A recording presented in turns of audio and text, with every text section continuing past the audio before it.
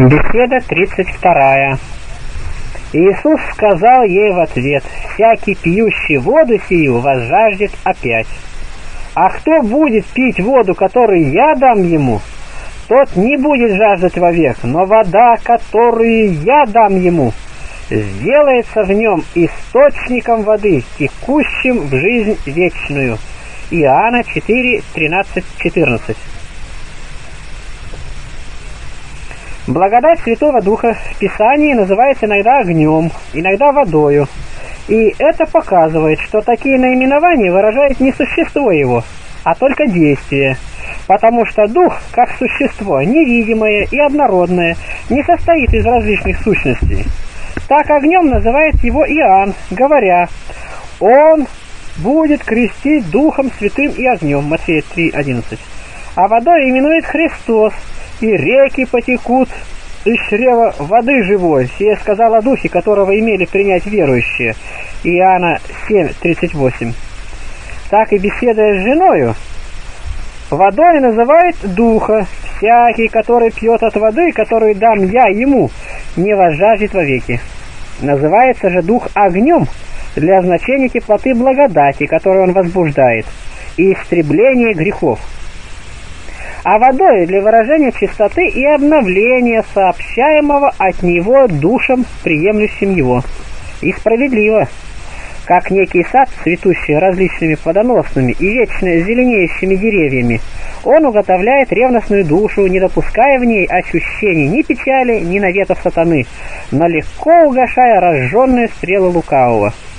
Но заметь мудрость Христа, как он мало-помалу возводит жену. Он не сказал с самого начала, «Если бы ты знала, кто говорит с тобой, дай мне пить». Но когда подал ей повод назвать его иудеем и вызвал на упрек, тогда, отражая укоризну, сказал это. Сказал еще, «Если бы ты знала, кто говорит тебе, дай мне пить, сама бы просила у него» и обещанием чего-то великого заставив вспомнить о праце. Он таким образом дает жене прозреть. Потом, когда она возразила, разве ты больше отца нашего Иакова? Он не сказал «да», я больше его, потому что это могло показать и одним тщеславием, когда еще не видно было на то доказательство. Но он приготовляет ее к этому именно тем, что говорит.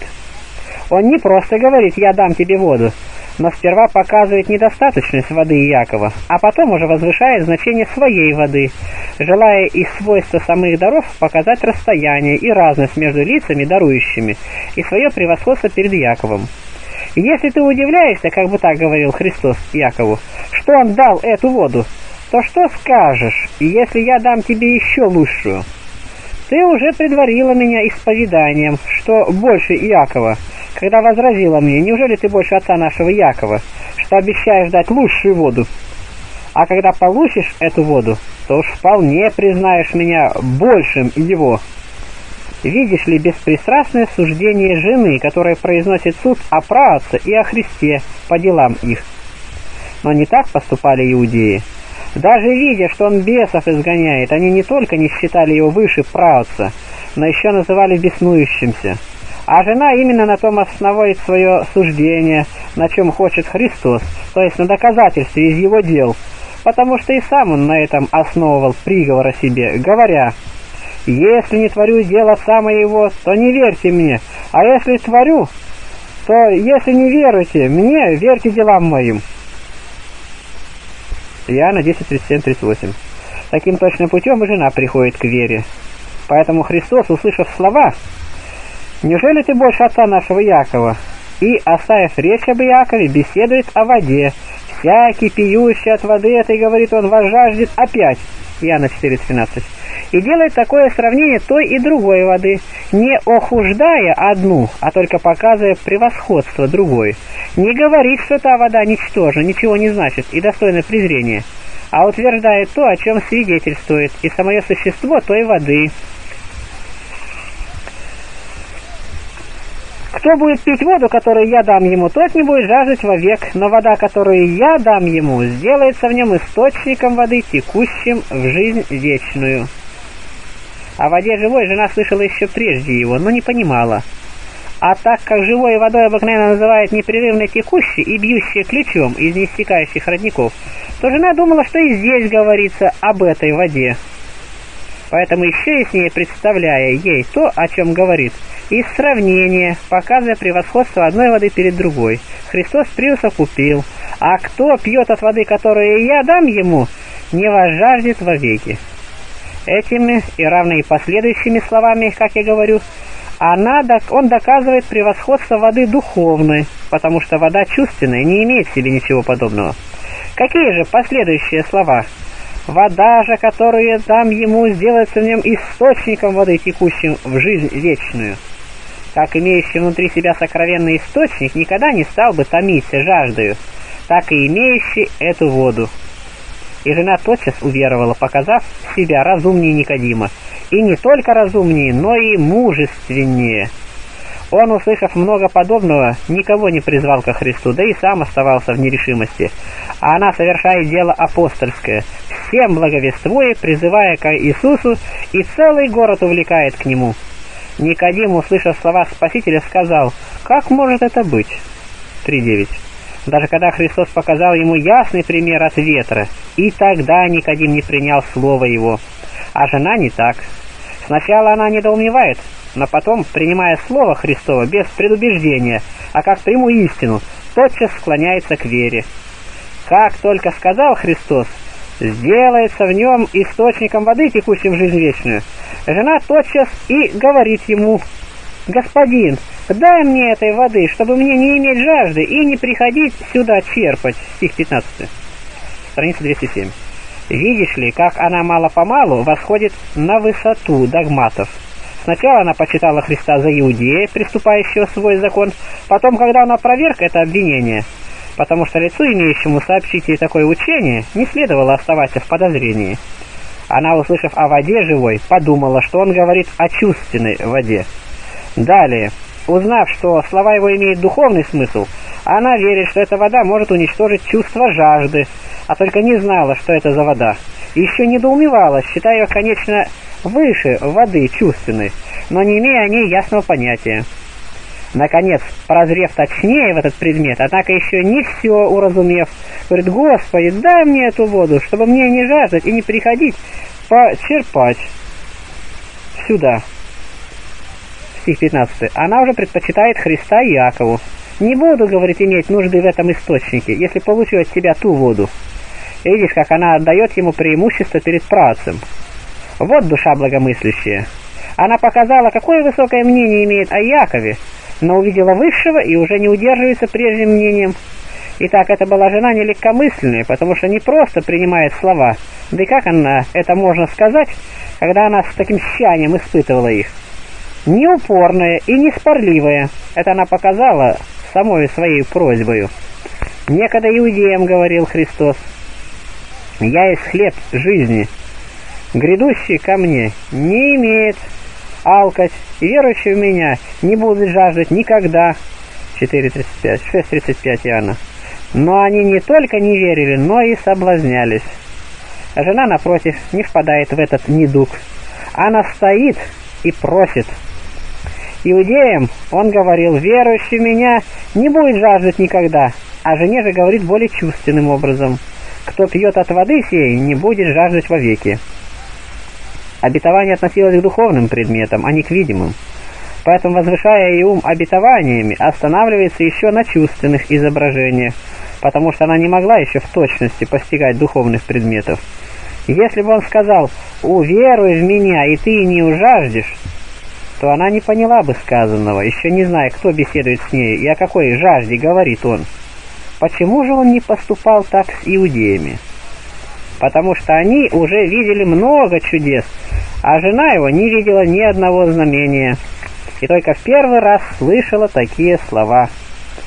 Поэтому-то он открывает ей силу через свое прозрение, впрочем, не тотчас, и обличает ее, и что говорит – «Пойди, позови мужа твоего и приди сюда». Женщина сказала в ответ, «У меня нет мужа». Иисус говорит ей, «Правду ты сказала, что нет у тебя мужа». Ибо у тебя было пять мужей, и тот, которого ты ныне имеешь, не муж тебе. Это справедливо ты сказала. Женщина говорит ему, Господи, вижу, что ты пророк. 16-19 стихи. Какое, однако, любомудрие в этой жене. С какой кротостью она принимает обличение. Почему же ей не принять, скажешь ты? Но скажи мне, не часто ли еще сильнее обличал он иудеев? Не одно ведь и то же открывать сокровенные мысли, обнаруживать тайные дела. Первое свойственно одному Богу, мысли никто не знает, кроме того, кто их имеет. А дела бывают известны всем соучастникам в них. На иудеи не переносили с обличения, когда Христос сказал, «Что вы ищете убить меня?» Иоанна 7.19. Они не только не удивлялись, подобно жене, но еще хулят его и злословят. Они имели доказательства и в других знамениях. А жена только это одно услышала, но они не только не дивились, а и поносили его, говоря, «Беса имеешь! Кто же ищет убить тебя?» Она же не только не укоряет его, но удивляется, приходит в изумление и заключает, что он пророк, хотя обличение жены было сильнее обличения их. Обличенный в ней грех был грех ее одной, а в них обличаемы были общие грехи. Но мы не так терзаемся обличением грехов общих, как наших частных. Притом иудеи думали, что сделать великое дело, если убьют Христа, а дело жены все признавали худым. Несмотря на все это, она не досадует, а изумляется и удивляется.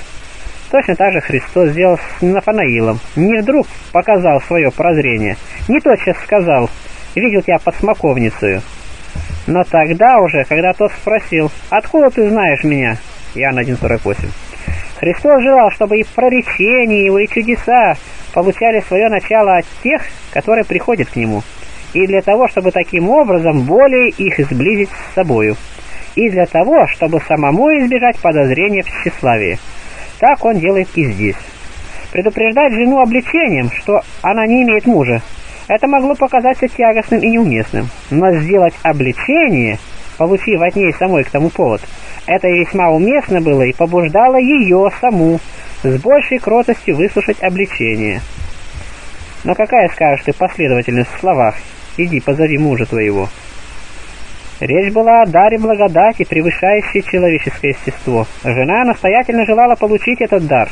Вот он и говорит «иди и пригласи мужа твоего», как бы показывая этим, что и муж должен иметь участие в даре. Жена, спеша получить и скрывая постыдные свои дела, при том же думая, что беседует с простым человеком, говорит «не имею мужа». Услышав это, Христос уже благовременно теперь вводит в свою беседу обличение, с точностью высказывает то и другое. Он из всех прежних мужей перечисляет и обнаруживает того, которого она в то время скрывала. Что же жена? Не досадует, не бежит от него и не считает этого обстоятельства причиной к негодованию на него – но еще более удивляется ему, еще более оказывает твердости. «Вижу, — говорит, — что ты пророк». Заметь ее благоразумие. И после того она не тотчас покоряется ему, но еще размышляет и удивляется. Слова ее «вижу» значит «мне кажется, что ты пророк».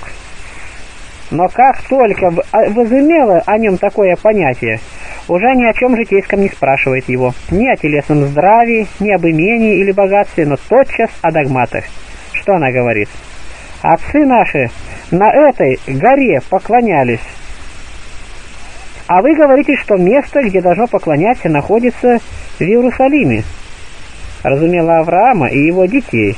Здесь, как сказывает, он приносит, приносил жертву сына своего. 210. Видишь ли, как она стала возвышеннее в своих мыслях. Та, которая заботилась только об утолении жажды, уже вопрошает о догматах. Что же Христос? Не разрешает вопроса, не о том он и заботился, чтобы только отвечать на ее вопросы. Это завлекло бы слишком далеко. Но снова возводит жену еще на большую высоту, и однако не прежде ей об этом говорит, как уже исповедала она, что он пророк, чтобы она с большим убеждением выслушивала слова его, убедившись в том, что он пророк. Она уже не могла сомневаться в том, что он после мог ей сказать. «Итак, устыдимся же и мы, и будем краснеть». Жена, имевшая пять мужей, притом самарянка, показывает такое тщание относительно догматов, и не время дня, не то, что она пришла за другим делом, и ничто иное не отвлекает ее от желания познать их. Мы же не только не спрашиваем о догматах, но во всем поступаем без внимания, и как случится. Поэтому и все у нас в пренебрежении. Кто из вас, скажите мне, находясь дома, берет в руки христианскую книгу, вникает в ее содержание и испытует Писание? Никто не может этого сказать о себе. Шашки, игральные кости можно найти у весьма многих, а книги ни у кого или у немногих. Да и те занимаются ими не более таких, которые вовсе их не имеют, связывая и навсегда отлагая их в шкафы. Вся забота у них только о тонкости кожи, на которой писаны книги, о красоте письма, а не о чтении. Да и приобретают книги не для пользы, а для того, чтобы выказать этим свое богатство и похвастать. До такой крайности доходит тщеславие. Я не слышу, чтобы кто-нибудь похвалился тем, что знает содержащиеся в книгах, а слышу, как хвалятся тем, что книги их написаны золотыми буквами. Скажи мне, какая от этого польза? Не для того дано Писание, чтобы мы имели его в книгах, но чтобы начертали его в сердцах наших. Заключать заповеди только в письменах, такого рода стяжания их свойственно только иудейскому тщеславию. А нам и вначале дан закон не так, но на плотяных скрижалях сердца. 2 Коринфянам 3.3. Говорю это я не препятствую приобретать книги. Напротив, хвалю это и даже прошу об этом. Желаю только, чтобы из книг слова и мысли переходили в нашу душу, и она, усвояя разум письмен, таким образом очищалась. Если дьявол не дерзает проникнуть в тот дом, где есть Евангелие, тем более души, усвоившие себе мысли, Писание не коснется и не нападет ни бес, ни грех. Итак, освети твою душу, освети тело, имея всегда священное Писание и на устах, и в сердце. Если хромословие оскверняет нас и вызывает бесов, то очевидно, что духовное чтение освещает и привлекает благодать Духа. Писание – суть божественное песнопение. Станем же воспевать их в себе, и из них приготовим врачество против недугов душевных. Если бы мы знали важность читаемого, то и слушали бы с большей ревностью. Это я всегда говорю и не перестану говорить. Не странно ли, что бывающие на зрелищах пересказывают друг другу о именах, возниц и плесунов, их происхождении, отчизне, роде занятий. Тщательно также рассказывают о достоинстве и недостатках коней, а собирающиеся здесь не знают ничего, что здесь происходит, даже не знают и числа книг священных. Если ты гоняешься за тем для удовольствия, то я покажу тебе, что здесь удовольствия гораздо больше. Что приятнее, скажи мне, что удивительнее? Видеть ли, как человек борется с человеком, или как человек сражается с дьяволом? Как плотское существо состязается с бесплотной силой и одолевает ее? Вот на эти-то борьбы надо насмотреть. Им и подражать похвально и полезно. И подражая, можно быть увенчанным. А не на те борьбы смотреть, которых соревнования наносит стыд подражателю. На ту борьбу ты смотришь вместе с бесами, а на эту с ангелами и с самим Господом ангелов. Скажи мне, если бы тебе дозволено было сидеть с владыками и царями, смотреть и вместе с ними наслаждаться зрелищем, не почел ли бы ты это величайшей для себя честью? А здесь вместе с царем ангелов, созерцая и видя, как дьявол, схваченный за хребет, все усилия употребляет, чтобы одолеть, но нисколько не осиливает, ты не спешишь на такое зрелище? Да как это сделать, скажешь ты? Имей в руках книгу священного писания. В ней ты увидишь и место борьбы, и длинноту бега, и нападение дьявола, и искусство праведника. Смотри на эту брань, и сам научишься бороться и освободишь себя от бесов. А то, что совершается на мирских представлениях, есть торжество бесов, а не зрелище подвигов человеческих. Если не позволительно ходить в капище идольское, тем более ходить на праздник сатанинский. Говорить и наскучать вам об этом я не перестану, пока не увижу исправления. Говорить это мне не леностно, а вам же полезно к филиппийцам 3.1. Не оскорбляйтесь моим увещанием. Если кому надо на оскорбляться, то мне, часто говорящему и не видящему послушания, а не вам, всегда об этом слышащим и никогда не слушающимся. Но да не будет, чтобы вы постоянно были обвиняемы в этом. Да избавитесь от этого стыда, и, удостоившись духовного зрелища, да сподобитесь будущей славы, благодати и человеколюбием Господа нашего Иисуса Христа, с которым Отцу, со Святым Духом, слава во веки веков. Аминь.